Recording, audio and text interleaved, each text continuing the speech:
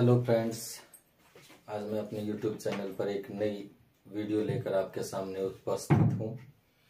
आज हमारा राग परिचय का जो है टॉपिक चल रहा था, उसी टॉपिक में आगे हम करते हैं। इससे पहले दो राग मैं करवा चुका हूँ, राग भैरव और राग मालकोंस। अब हमारा तीसरा राग है राग बागेश्वरी। तो राग बागेश्वरी के बारे में हम जानते हैं। सबसे पहले राग बागेश्वरी।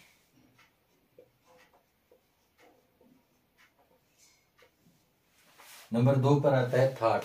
तो बागेश्वरी राग जो है वो काफ़ी थाट का राग है। उसके बाद उसकी जाति क्या है? इस राग बागेश्वरी की जाति है औड़व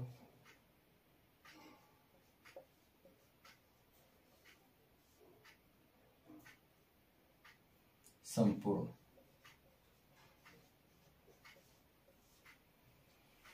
औड़व संपूर्ण का मतलब क्या है कि इस राग में जो है आरों में पाँच और अवरों में सातों स्वरों का प्रयोग होता है। उसके बाद इसका वादी स्वर वादी स्वर क्या है? मा। और संवादी स्वर है इसका सा। उसके बाद स्वरों की बात करते हैं कि राग बागेश्वरी में स्वर कौन कौन से लगते हैं। तो राग बागेश्वरी में जो है, ग और नी जो है वो कोमल है। कोमल और अन्य शुद्ध। राग बागेश्वरी में क्या है? गा और नी जो है, वो कोमल लगते हैं। बाकी सभी स्वर शुद्ध स्वरों का प्रयोग होता है। वर्जित स्वर की बात करते हैं तो इसके, इसमें रे,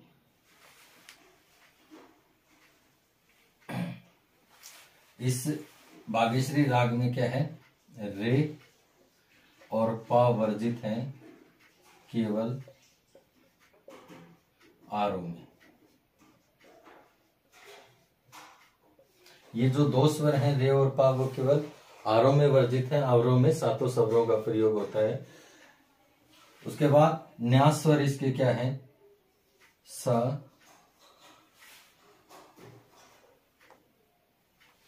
ग और म। ये न्यास स्वर है इसके। इसका गायन समय क्या है?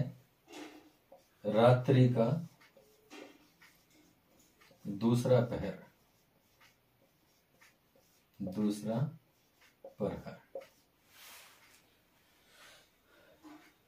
अब बात करते हैं सम प्राकृतिक राग की। तो इसका जो राग बागेश्वरी का सम प्राकृतिक राग है वो है भीम पलासी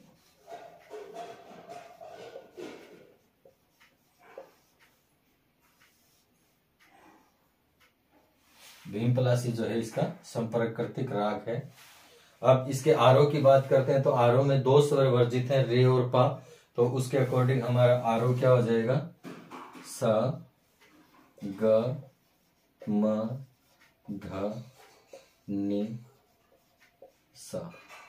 अब इसमें हमें ध्यान रखना है कि ग और जो नी है, वो हम कोमल प्रयोग करेंगे। और अवरों में सातों सवरों का प्रयोग है तो इसके अवरों में हम सातों सवरों का प्रयोग करते हैं। सा, नी, ध, प, म, ग, रे, सा। इसमें नी और जो है वो गा कोमल हो जाएँगे। अब बात करते हैं इसकी पकड़ की। ठीक है? तो इसकी पकड़ क्या आ जाएगी? ध, नी, सा, म, ग म, ग, रे, सा। अब इसमें जो है ग हम कोमल करेंगे और नी जो है कोमल करेंगे।